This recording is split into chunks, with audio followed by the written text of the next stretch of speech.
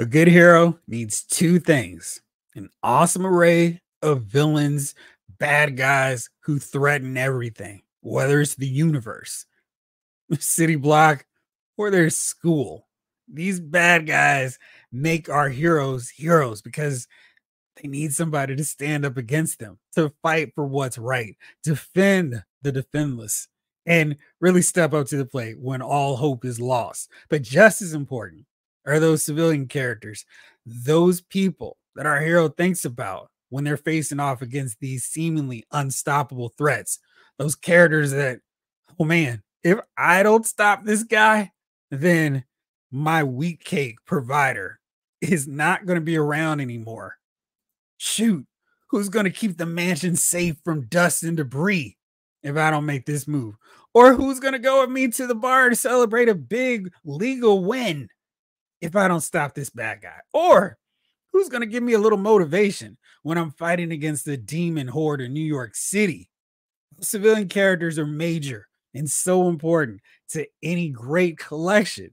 That's why I feel like Hasbro and Marvel Legends needs to come up with a way to inject a lot more civilians into the line. And I think I finally figured out a good way to make that a reality.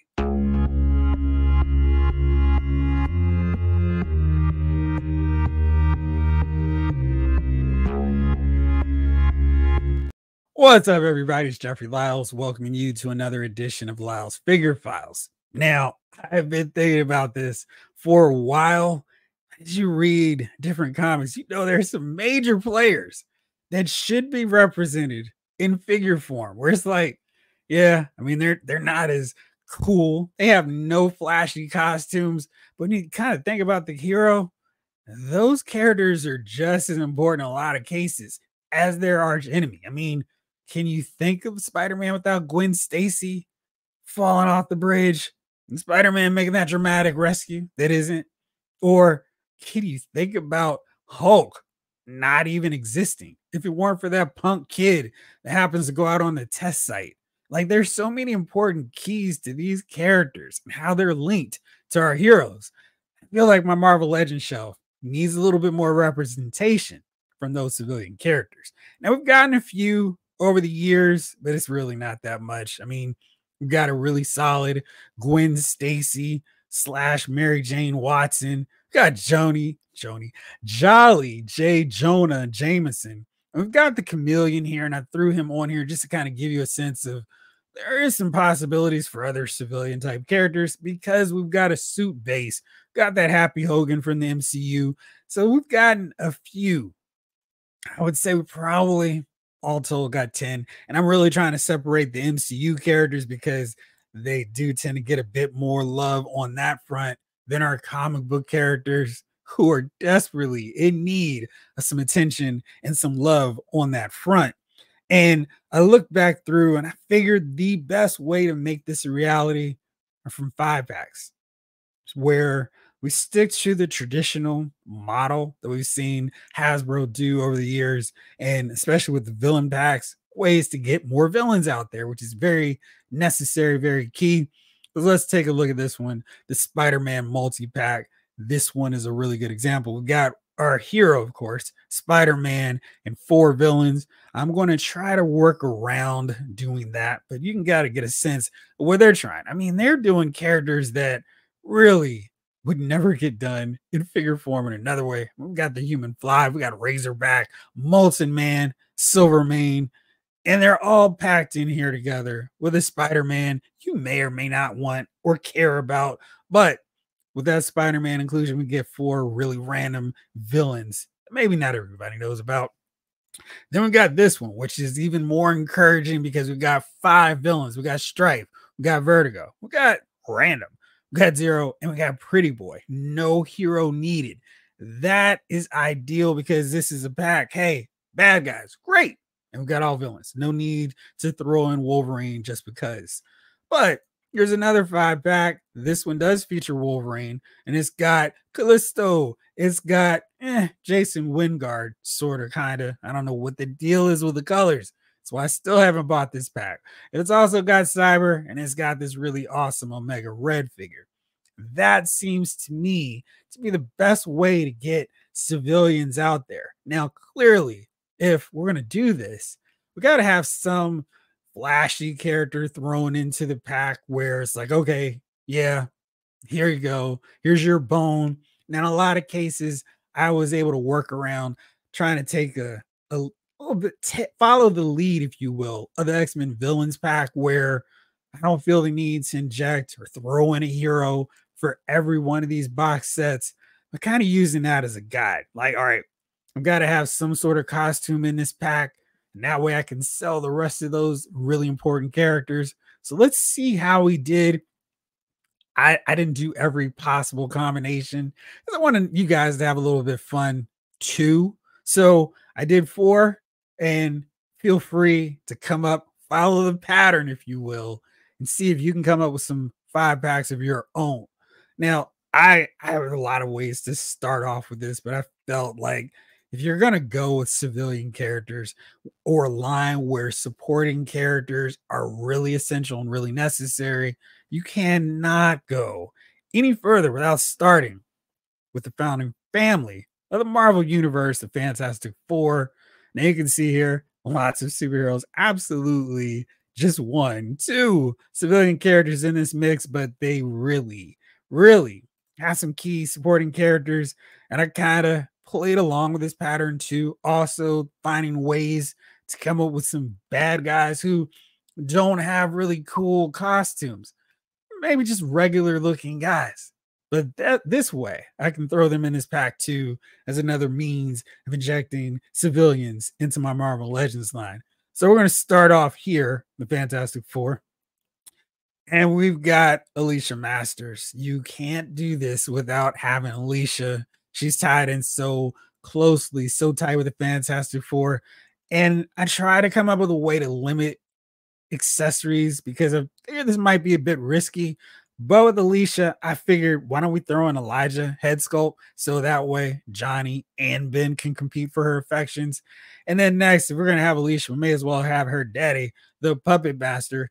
He's another villain that I'm throwing in here. He would look pretty regular, but he's one that I, really think would be so fun to have in this line, especially if we get this head kind of exaggerated like this. That would be great. Maybe toss in two puppets, just some basic scopes of like the thing, Human Torch, Reed Richards, whatever. But I think he would be really fun. So there's another use for some accessories in this budget. Wyatt Wingfoot, you cannot do anything with the Fantastic Four without including Wyatt in terms of civilian characters. We've already got an awesome She Hulk, and I think this would be a really great time to introduce Wyatt. We don't have a lot of indigenous characters in the Marvel Universe. We've got our Warpath, got our Thunderbird, got Wyatt in here, and Wyatt is not a superhero, at least as far as I'm concerned. He's just a regular adventurer hanging out with the Fantastic Four, and I think he would be really good to throw in this pack.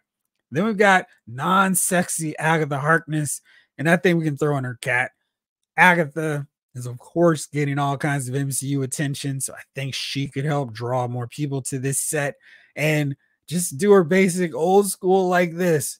My last one, this is the character I think could help sell it. It's not Doctor Doom, it's Kristoff Vernard.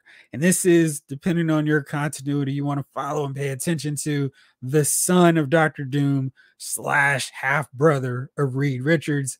And I think we can get him in this look, of course, with a removable mask so we can show Kristoff's face. That would be awesome.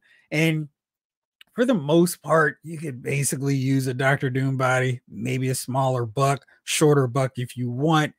I think this is a really fun, fantastic four set, one of which that could, should work as a viable five pack.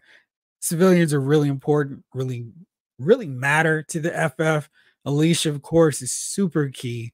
Agatha, it's a character. It's got a lot of buzz now, not just with comic book fans, but with mainstream media, thanks to her appearance in WandaVision and, of course, this Disney Plus show that I'm not that excited about. Wyatt could be a little bit bigger, hanging out with Johnny Storm. I just love the possibilities. Finally, getting a civilian like Wyatt into the line. He can hang with with the Fantastic Four. He can hang out with She Hulk. So there you go. That that's my first suggestion. My first civilian five pack. And you know, I cannot get any further with civilian packs without the guy who has so many major civilian characters, so important, so integral to everything about him. Of course, you know, I'm talking about Spider Man. And here are so many. I mean, you could just choose any combination of five characters. I'm looking at this again. I'm like, oh, maybe I should have put this character in here. What about this one? There's so many. I really think that Hasbro could get away with doing multiple Spider Man civilian packs, including more Peter Parker, especially this oh so cool 70s tiger cheetah print, whatever he's got rocking with this shirt. I want this in figure form. But yeah, I mean, a Spider Man civilian pack seems like a no brainer. So let's go to my choices, my options for this one. Let me uh do this so I can make sure to get the full cool animation for you. But here you go. This is that set. And clearly, you cannot do this without Aunt May. And I know, yeah, we've got an Aunt May from the cartoon, but I want this version classic, old school Aunt May with the hair tied back in a slight ponytail. Not anything cool or modern about her. That vintage classic version of Aunt May. Robbie Robertson, gotta have him I will find a cigar pipe for him because he needs that. Flash Thompson, bully slash cool friend of Peter Parker. And then my concession to trying to come up with something, some tie in, some link to mainstream properties. Get Ezekiel, we get Madame Web. Madame Web is not a character I think that could sell on her own in a deluxe set or whatever. But I do think in this kind of civilian set, this could work. Ezekiel, again, not a really flashy looking character, but he's a mentor slash villain to Spider Man. And make sure we include him barefoot. So I think that would be really fun. So we got a villain slash mentor, and then we've got a mysterious character in Madame Web. And if you're worried, like, well, how's that going to work? Because she does need her chair. I just think back to this five pack of the supervillains, and zero comes with the portal. Yeah, it was already created for Doctor Strange, but if we can fit in a big character like Strife and Pretty Boy needing all new sculpting and random, I think we can figure out a way to include Madame Web's chair. So I think that could work really easily for that set. So that's my Spider Man set, and I really hope that we can get some of those characters. Of course, Aunt May probably tops my list in terms of civilian characters that I want to see sooner rather than later in Marvel Legends. Next up, I'm throw a little curveball, not Captain America, not Iron Man, not Thor. I'm going with another founding Avenger. This time it is with Hulk. And I'm also got a little bit of tease, no Pantheon members included on this list, but I think there's a real strong option for their own separate box set if we're looking for viable Hulk characters to throw into the line. And we still need a ton of Hulk characters. So why not do them? So here you go. And I feel like none of these should be a surprise. I mean, these are characters we're overdue, I would say, in Marvel Legends.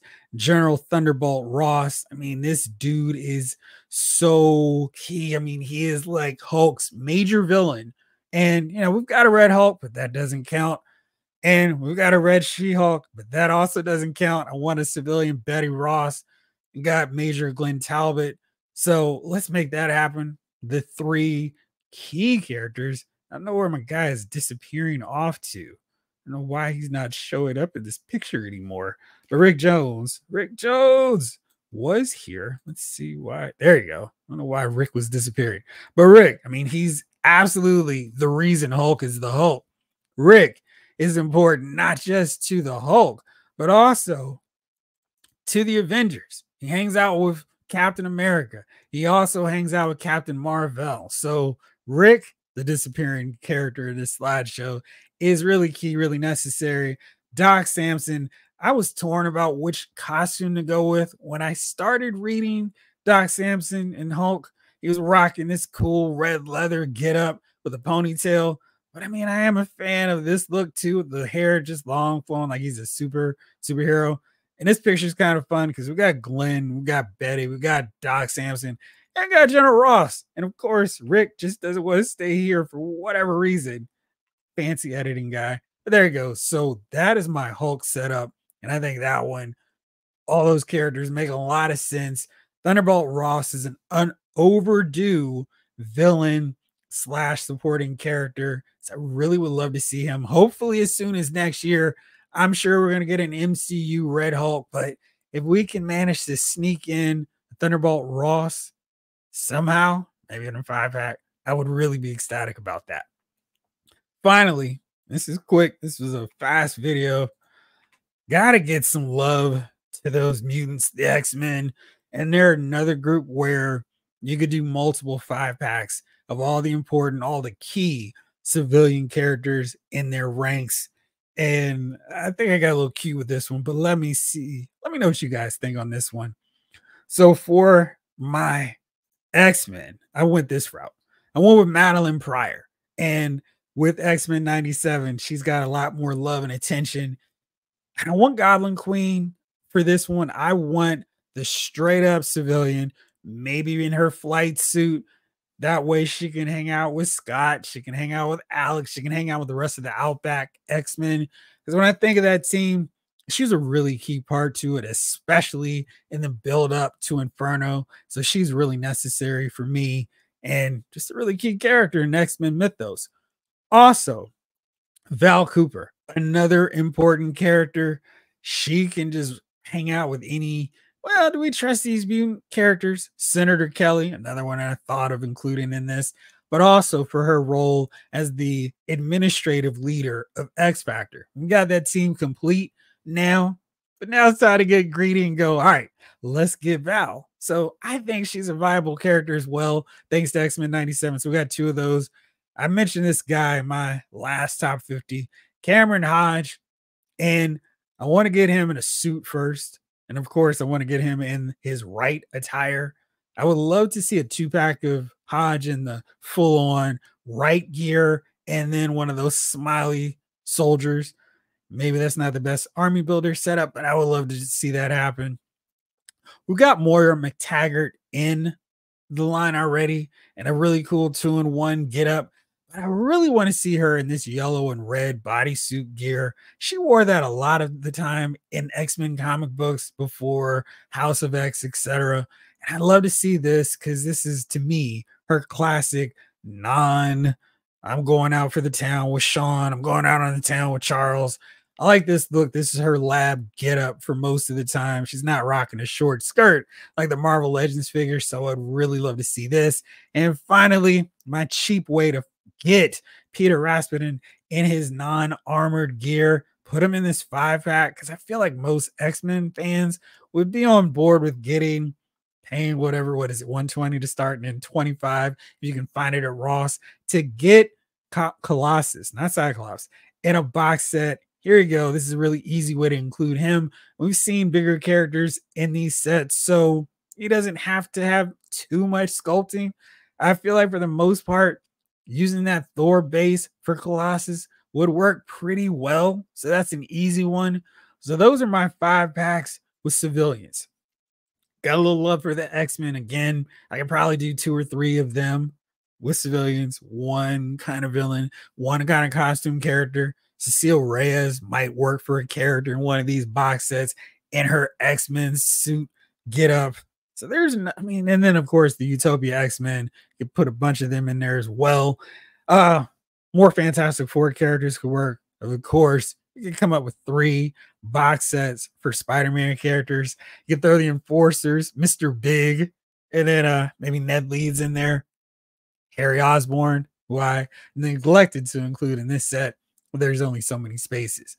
But you see how Hasbro could potentially do this.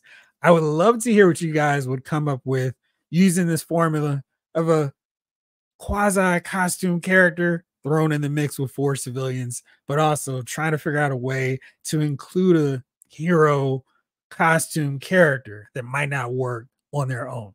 Let me know what you guys think. Which five packs would you come up with? which ones of mine did you like? Let me know as always in the comments. Thank you so much for watching. This episode of Lyles Figure Files has been filed.